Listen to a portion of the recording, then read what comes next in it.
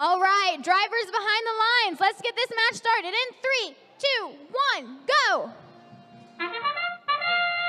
Match 30 off to an exciting start. All robots are moving.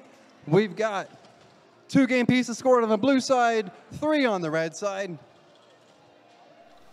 Only one is able to engage. That is a bonus for the blue, so they come in with a lead in the autonomous mode.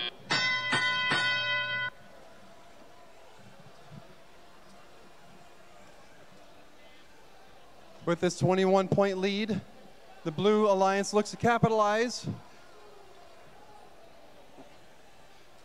Focusing in the middle of the field, we've got lots of robots picking up cubes, moving them to the opposite side.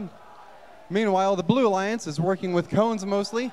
We'll see how this switches about halfway through the match as they go from cubes to cones and cones to cubes.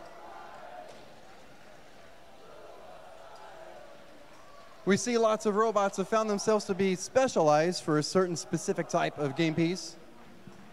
A lot of times they talk with their alliance partners before the match to make sure they've got a cohesive strategy to maximize their gameplay, get as many links as they can, score as many points and RPs as possible.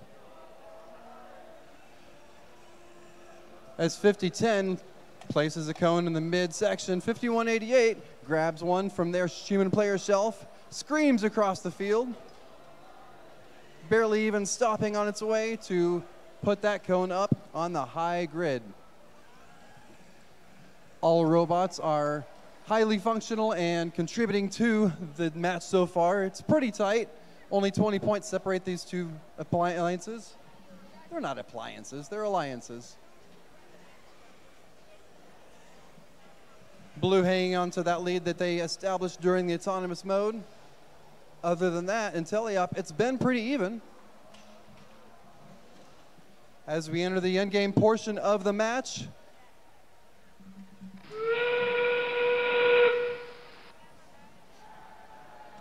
Red Alliance has tied it up and then some. They've already got two robots on looking for the.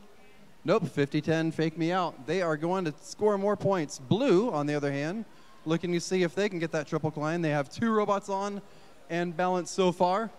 2171 might need to join them. Nope, they're just going to hang out. They're going to get the two parking points and call it good.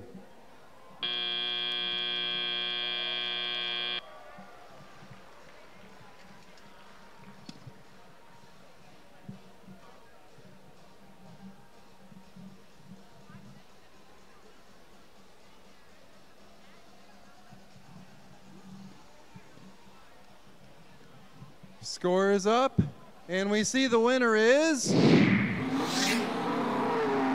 Blue Alliance.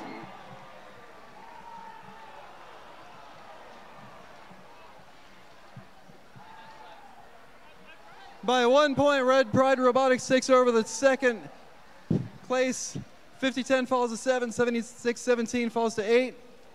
We're only about halfway through, so these are going to be still pretty volatile as we go throughout the competition. But as we get closer and closer to the end, these rankings matter more and more.